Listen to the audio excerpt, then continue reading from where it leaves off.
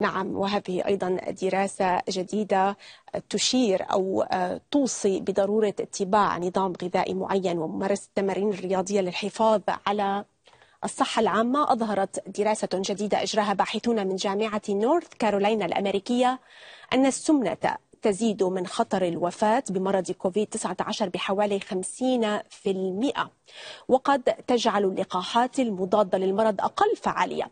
لكن الباحثين أعربوا عن قلقهم من الدراسة وأكدوا أن المخاطر التي يتعرض لها الأشخاص المصابون بالسمنة أكبر مما كان يعتقد سابقا. طيب دانيا ما هي الأرقام أو النسب التي ارتكزت عليها هذه الدراسة؟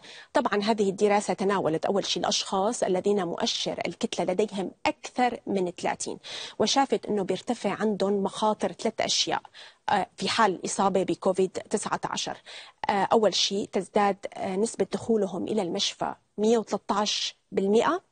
تزداد احتياجاتهم للعناية المركزة بنسبة 74% ويزداد خطر الوفاة للأسف بنسبة 48% طبعا هذه الدراسة جمعت وحللت بيانات من دول عديدة منها الصين منها فرنسا بريطانيا والولايات المتحدة. أيضا مثل ما بتعرفي يعني دين المشكلة في السمنة أو البدانة أنه يرتبط بأمراض مزمنة أخرى ويزيد من خطرها.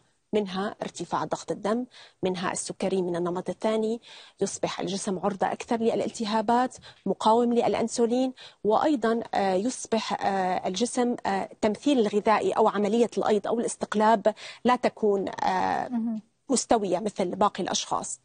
أيضا بصير في عنده نقص في مكافحة أي عدوى منها عدوى كوفيد 19 لذلك رح تتجلى عنده مشاكل أكثر منها التنفس أثناء النوم وهذا أيضا يجعله أكثر عرضة للإصابة بارتفاع ضغط الدم الرئوي. لذلك أيضا الآن بدأت الحكومات بالحث على ضرورة اتباع حميات غذائية معينة وممارسة الرياضة في ظل تفشي وباء كورونا. بالفعل يعني السمنة يعني مرض خطير مرض العصر وقد يؤثر على كافة جوانب الحياة الصحية والحياتية والعملية. شكرا جزيلا لك شكرا أرشيد. شكرا.